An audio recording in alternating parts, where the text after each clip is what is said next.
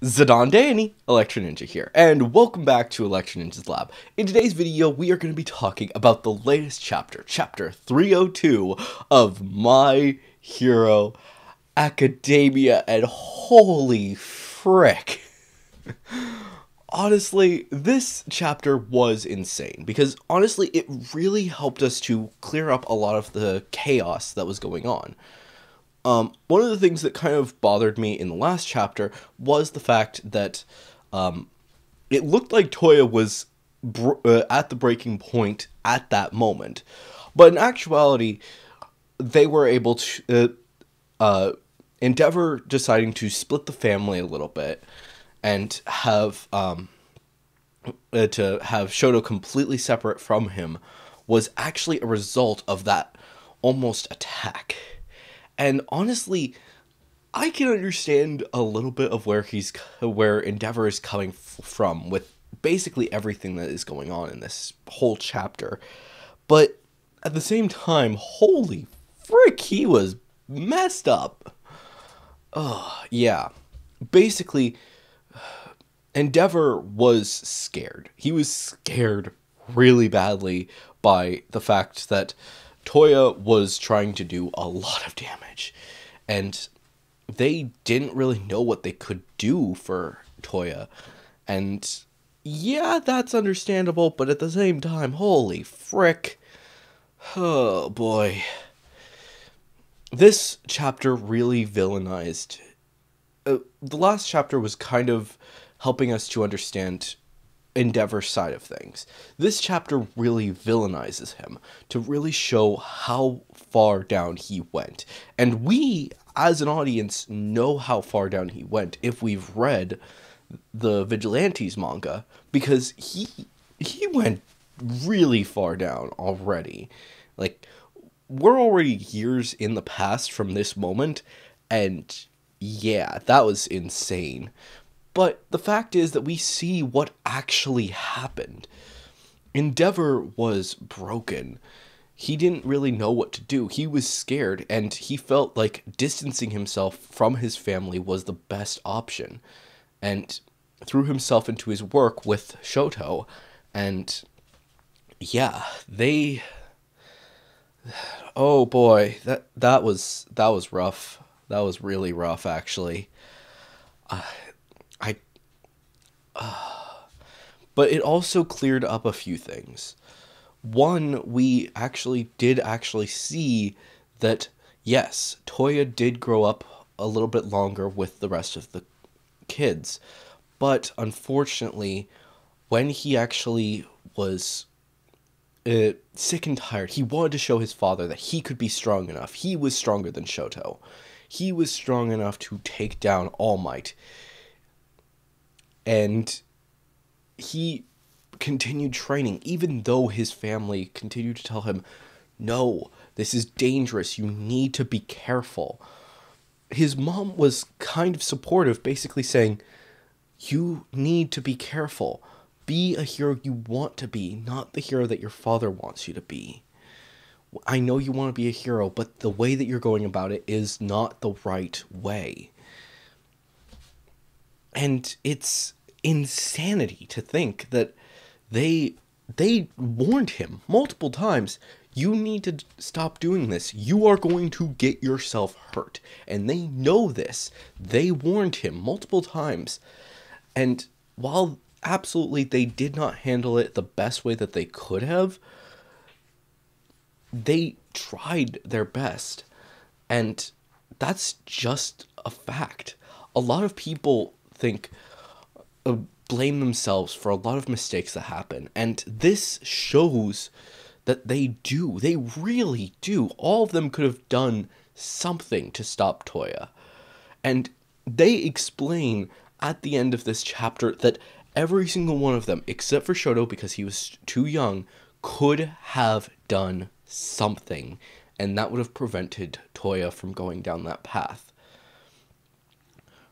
Rei could have talked to uh, could have talked to him more to actually understand where he was coming from could have helped him to uh, to calm down and realize this is hurting you you need to act if you want to learn how to do this, you need to actually learn from someone who is actually good at this.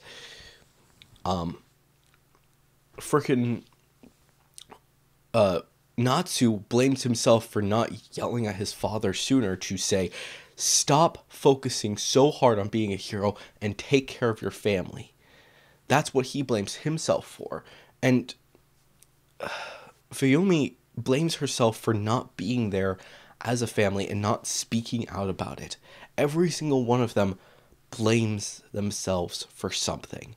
And if all of them had done these things, they think that they could have improved it.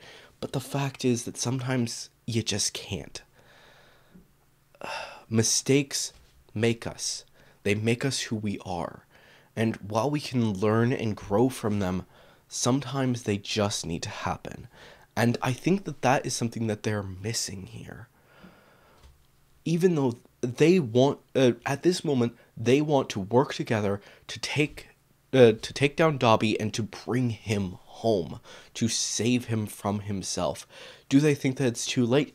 Absolutely. Do they think that they might still be able to save him? Yes. But by the fact that they are willing to try, it means that they have grown as people. And that is an important fact. Everyone. I think this this chapter comes out at a perfect time because this is extremely similar to cancel culture nowadays. Because a lot of people look back at racist tweets, old tweets, tweets that are absolutely vile, and they think that person cannot grow, they cannot become better. Because they said something early on, they should not be allowed to do anything.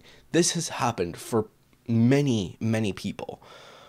James Gunn, for example, just when he was fired at first from freaking doing any more Guardians of the Galaxy, which luckily he hasn't actually been, but it was because of the fact that he was a comedian before and he made some racist jokes before. He was not smart at that point, but he has grown as a person. These things are important for people to actually understand. And it's been happening over and over again. Multiple people. Uh, the person who plays Ralph Dibny in Flash, again, canceled because of a stupid joke that he made years ago that he does not agree with anymore. And people don't understand that nowadays.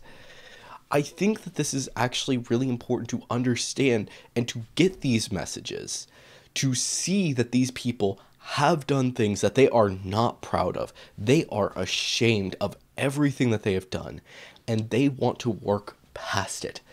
That is why this chapter is so important. And honestly, I love this these past two chapters because they show that yes, Endeavor and his family made mistakes.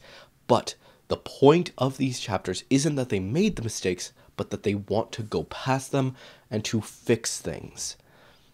And they are going to stand together as a family for the first time in years, and I mean years, they're going to stand together to bring Toya home. That is their goal. And I love this. But one of the things that kind of is interesting is that we also get to see a little bit of Dabi's side. He's thinking, oh, I'm awful, this, that, and the other thing. He's kind of feeling what they are saying about him to a certain degree. Uh, the thing is that, especially in Japanese culture, they often say things like, oh, someone's talking about you if you sneeze. And it's a com- it's a stupidly common thing in Japanese anime and stuff. But in this case, I think that he's actually got that connection. He knows that they are talking about him and that they want to save him. Even if to a small degree, he knows that they want to help him. And he's starting to feel like he's a monster. He's done terrible things, which I think is an important aspect. On top of that, we also have Shoto, who is willing to stand up. Someone who has hated his father for so long and has been slowly growing more connected with him over these past after over this past year is finally willing to stand up and apologize to his father for hating him so long and to work with him to bring his brother home. And everyone knows that to- uh, that Shoto is the hero of their family. He is going to be the one who is going to save their family. But I think that through this these images, we actually see that Shoto doesn't believe that himself. What he believes is that he is only part of it, because without Midoriya, he never would have accomplished this. They never would have accomplished this. That is the important fact of this. Honestly, like I said, I love these chapters, and I do want to keep talking about them and gush over how crazy these moments are. But at the same time, I also know that we need to actually settle down for a bit and just relax for a while to really think about what the future of this series has in store. Personally, I'm really excited to see the rest of My Hero Academia and to see how this story is going to play out. Will they save Dabi? Will uh, they will Midoriya wake up and all of the craziness that is about to happen because the next chapter will more than likely either be Deku waking up or something revolving around Deku and the likes, or more uh, more than likely it will there the other possibility is the fact that Endeavor and his family are going to go up on that stage to make a statement to say that they are absolutely what Dabi said is true, but they are not those people anymore. They are going to stand together to find Dabi, to bring him home, and to save him. They are not the people that they were before, and they are going to grow and become better people. Should uh, should Endeavor be the number one hero anymore? No, absolutely not. But should he still be considered a true hero that deserves the attention? Absolutely. But anyways, guys, that those are my thoughts and theories. So, if you enjoyed this video, definitely make sure to leave a like, subscribe if you're new, and ring that notification bell, or even if you're not new, because apparently only like about 25% of people are actually subscribed to my channel who watch these videos, so please subscribe. um, of course, if you enjoyed the, uh, uh, uh if you have any thoughts or theories, please leave them down in the comments below. Um, if you uh, if you are going to leave a theory, make sure to say theory review somewhere in the comments so that we can talk about it in a future video. And of course, if you do want to support the channels even more, then definitely make sure to go down to the description and check out the other two channels, as well as, of course, the our other links, including our social medias and ways that you can support us financially, including our Patreon and the merch store and the book. But anyways, guys, I have been Electrininja, and I will see you guys next time. But on.